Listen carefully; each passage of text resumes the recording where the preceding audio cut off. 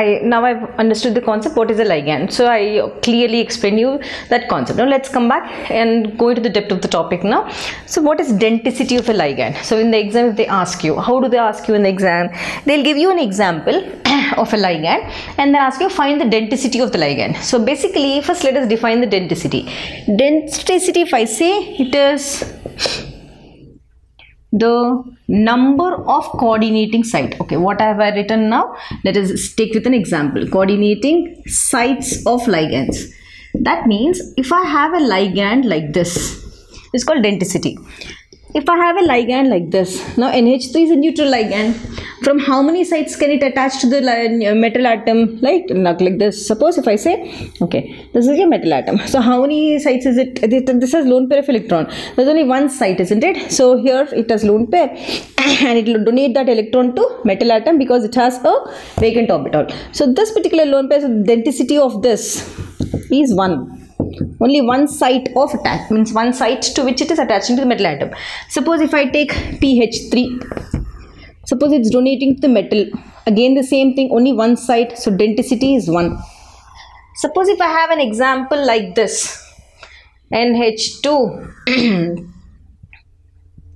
CH2, CH2, NH2. Now this has a lone pair of electrons. Let us write like this better because nitrogen has lone pair, isn't it? So let us write NH2 like this. This is better. So how many sites from how many sites is attacking? It's attacking from two sites, isn't it? So the denticity here, this is your metal atom. Again, this is your metal atom. So the denticity is 2 right? So how many of our sites it's going to attack? From how many of our sites it's going to attack it, we call it as that is a denticity now based on this concept your uh, your uh, attacking site the ligands are classified on they come under three categories.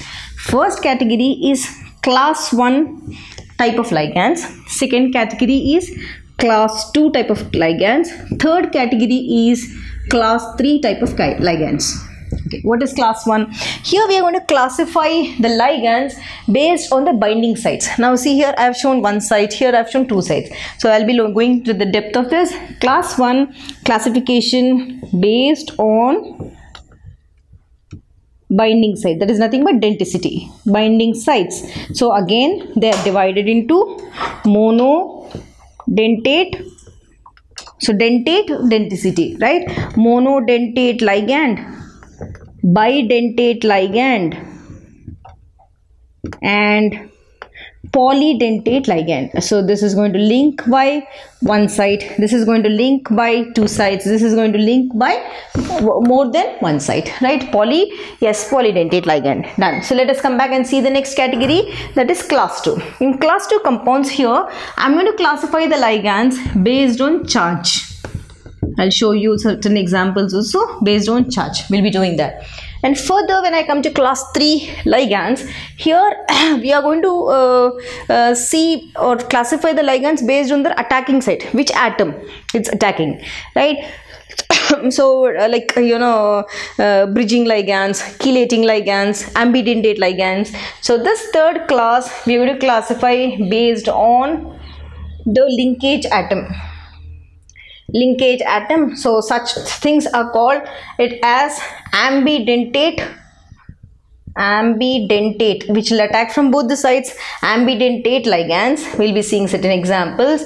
There are certain things which form bridges. They call it as chelating ligands board may ask you from any part of this particular thing. They may ask you any example or they may give you a complex and ask you to find out which type of um, this one uh, like uh, uh, ligand is that. So we will learn. Let us come back and learn the different classes of ligands